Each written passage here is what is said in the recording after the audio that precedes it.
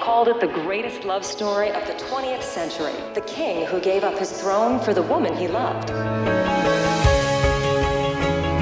How do you find living in England, Mrs. Simpson? I'm always cold. Maybe you need someone to keep you warm. Isn't that what husbands are for? Are you trying to seduce me? Is it working?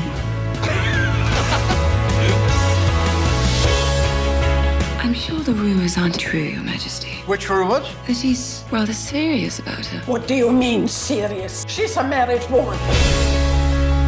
I have never known one person so utterly possessed by another as he was by her.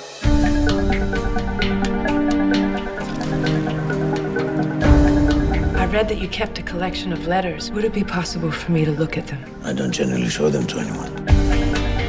I think it's important to tell the story from her point of view.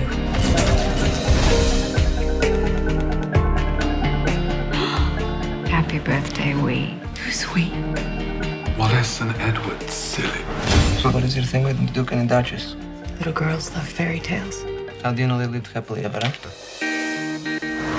His Royal Highness is calling from Paris. You know you'll give in if you speak to him. He's my brother. The last thing you need is your brother dashing around England with that trollop. Tell him I'm busy. Your family will never stand for it. The Prime Minister won't stand for it. Then I'll give up the throne. And I will be the most despised woman in the world. He seems to have made his bed, hasn't he? I have found it impossible to discharge my duties as king without the help and support of the woman I love. The whole world turned against her, but she never backed down.